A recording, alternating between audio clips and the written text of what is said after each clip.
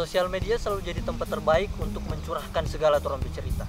Mulai dari cerita senang, cerita sedih, bahkan aib pun rasa-rasa semua mau cerita di sosial media. Sosial media jadi tempat yang paling bebas untuk orang berekspresi. Nah, kenapa? Karena orang tidak akan baku dapat secara langsung dengan orang-orang yang tanggapi orang bercerita. Mar, bagaimana kan kalau yang orang bikin di sosmed terjadi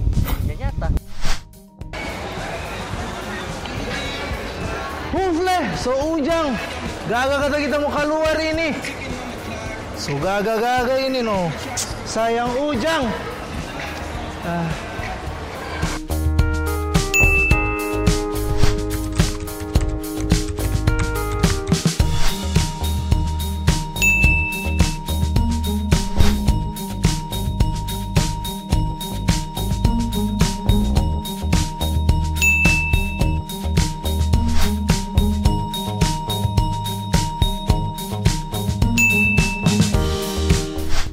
Yang kasih ini dia eh?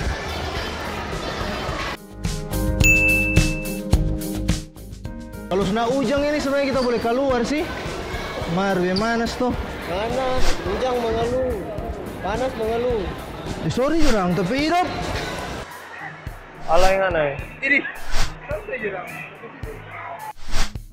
Nah, begitu no kalau yang orang bikin di Facebook jadi di dunia nyata.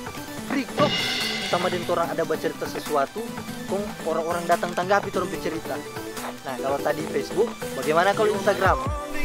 Oke kita sedang live, ini ada orang yang masuk, oke guys. Ini ada orang yang masuk ya. Enggak, ada orang yang masuk. Oke, ada satu orang masuk. Ray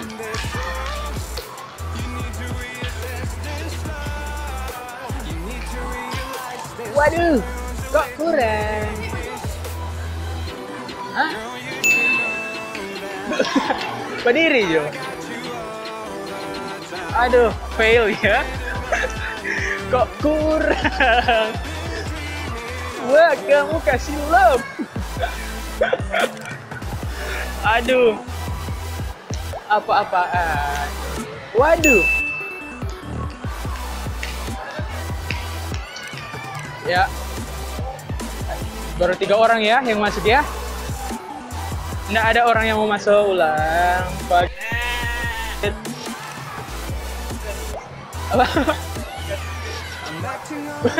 Buka dikit aja. komen komen kok. Apa? Kringe, kringe, cringe speech. What the man? Eh, sayang. Anda, anu. Sayang.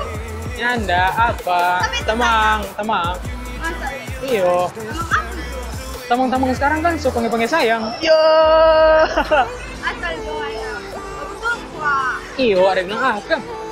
Sayang siapa le? Mana mungkin kan dia di balai bayi ini panggil-panggil Ya, sayang. anda sayang yang ditemukan itu gua. Iya. Sayang? Kita pesayang kan cuma pemana. Ya, dewa ida. Ya tahu. Waduh. Waduh. Sayang. Sayang, heh, sayang nih. sayang nih mau ini. Sayang.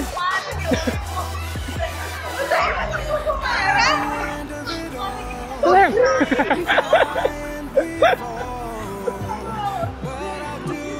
Keringe. Keringe ya. Buka apa ya? Apanya yang dibuka? Apa ini kan? Dia, ini kan Cina jari toh. Aduh. Iko mana isi? Boleh kan iko-iko sih. Nah, itu Leno kalau yang jadi di Instagram jadi dunia nyata. Orang live sambil cerita-cerita orang punya masalah pribadi atau jadi re-uploader yang upload ulang orang pekarya tanpa seizin yang punya. So, jadilah orang-orang yang cerdas dan bijak dalam bersosial media.